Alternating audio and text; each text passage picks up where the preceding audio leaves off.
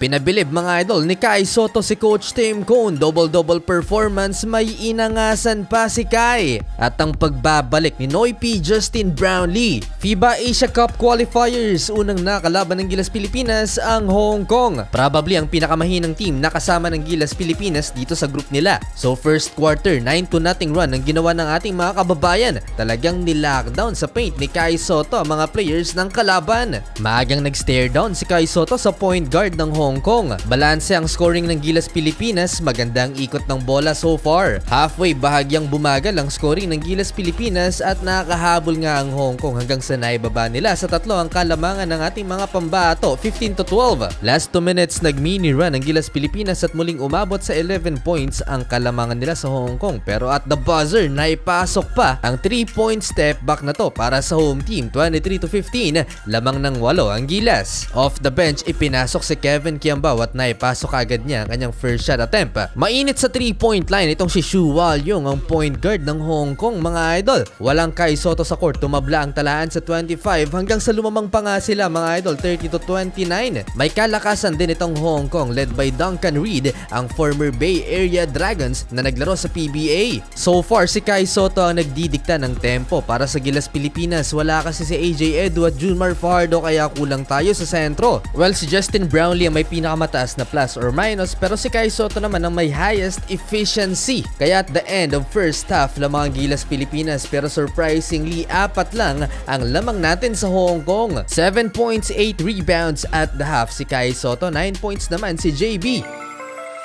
Start of third quarter, Justin Brownlee from the corner, 3-pointer to extend the lead into 7 points. Sinundan pa yan ng 2 free throws ni Kai Soto. Double-double na for Kai. And Henebra connection, JB to Scotty Thompson, easy layup. Finally at nakontrol na rin ng Gilas Pilipinas ang laban. Kumana si Dwight Ramos at biglang lobo sa 17 points ang kalamangang hawak ng Team Philippines. Showtime na rin si Kai Soto. Napakagandang assist ni Scotty Thompson sa reverse alley-oop dunk na to ni Kai. 7 assists na for Scotty. Magandang adjustment na ginawa ni Coach Tim Cone. Mas maraming fast break points ang naitala ng ating pambansang kupunan sa quarter na to. Nagkasunod-sunod pa ang 3-pointers ng Gilas Pilipinas papatapos ang third quarter kaya malapit na mag-isang buwan ang kalamangan na ating mga pambato heading into fourth quarter. 71-46 matagal pang na-delay ang laban sa last 1 second bago ang fourth quarter. Lumalaban ng Hong Kong final quarter na ibaba pa nila sa 19 points ang kalamangan ng Gilas Pilipinas. Masyado nga lang malalim ang lineup nitong Gilas Pilipinas dahil ang second unit na pinangungunahan ni CJ Perez nakapagbigay rin ng magandang produksyon kaya sa huli mga idol panalo ang ating mga pambato susunod nating makakaharap sa Phil Sports Arena ang Chinese Taipei.